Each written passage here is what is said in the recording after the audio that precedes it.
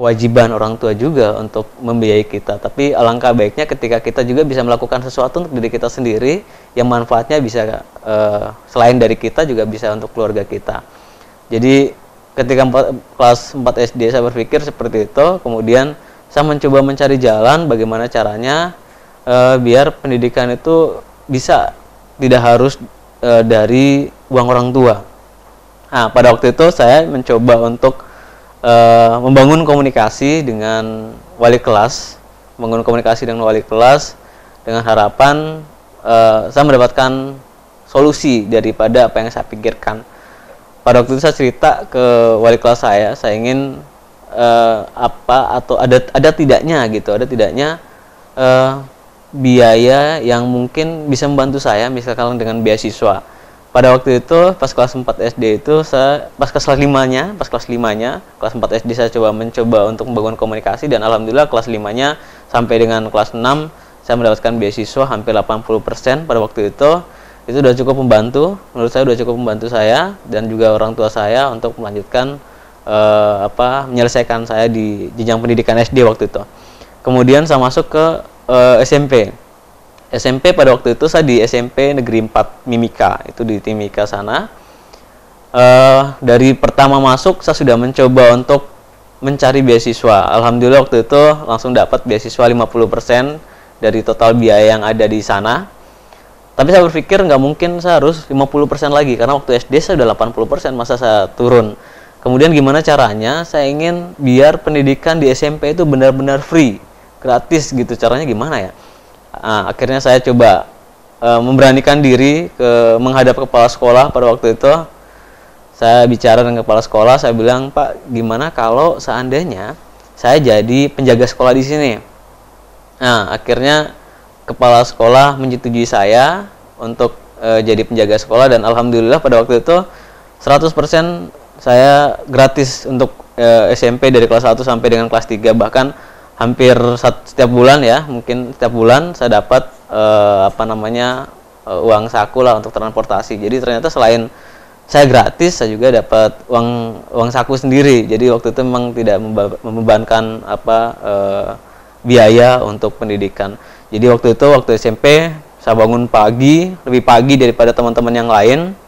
Tugasnya adalah apa uh, menutup membuka gerbang sekolah dan semua kelas-kelasnya pada waktu itu karena di sana memang ada uh, di Timika ada kelas pagi dan kelas sore. Jadi pagi saya datang paling pagi dan kemudian ketika teman-teman sudah pulang pun saya belum pulang. Saya masih standby di sekolah untuk memastikan bahwa jendela dan pintu pada waktu itu harus tertutup karena tugas saya seperti itu. Nah, itulah yang akhirnya saya dekat sama semua uh, guru, dekat sama semua kalangan lah dan juga teman-teman semua baik yang kelas pagi, kelas sore, hampir semua kelas.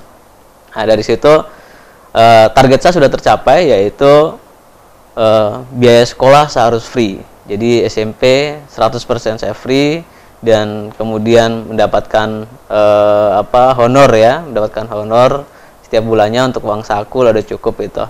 Nah, itu ketika saya SMP yang kemudian uh, lanjut ke SMA. Nah, SMA itu saya di sana di SMK Negeri 1, SMK Negeri 1 Timika di Kuala Kencana. Sama berpikirnya sama, bagaimana caranya saya juga harus uh, eh, SMA ini juga tidak mengeluarkan biaya dari orang tua maupun saya pribadi. Pada waktu itu pas di SMA Alhamdulillah sama saya mendapatkan beasiswa juga. Saya mendapatkan beasiswa dan juga uh, saya ikut beberapa lomba di sana dan kemudian e, mendapatkan juara dan saya sering juga ke mewakili sekolah pada waktu itu mewakili sekolah untuk e, mengikuti berbagai kegiatan dan dari kegiatan-kegiatan itu cukup menghasilkan buat saya.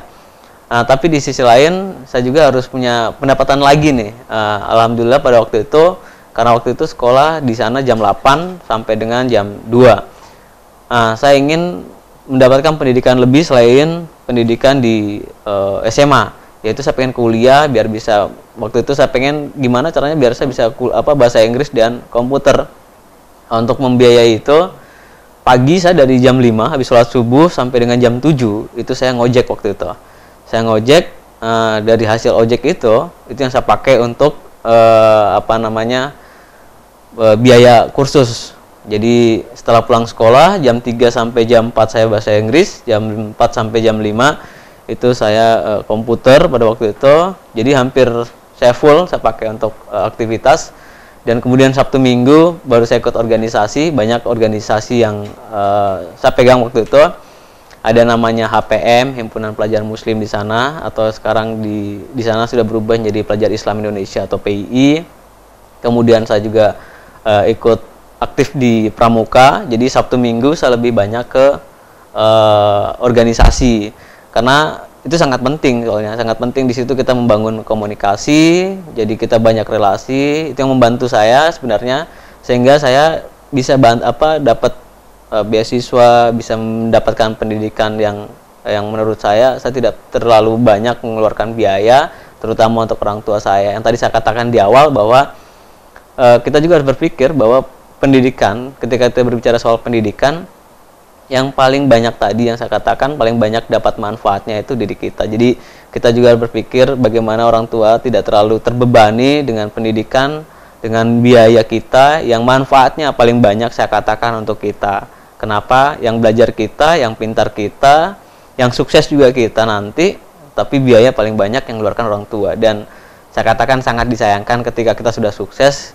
ketika kita sudah e, mendapatkan sesuatu yang baik, kita belum sempat e, apa namanya e, memberikan yang terbaik ke orang tua kita. Jadi kita harus mulai berpikir dari situ bahwa pendidikan itu sangat sangat e, penting buat kita. Jadi kita yang harus banyak berpikir soal diri kita.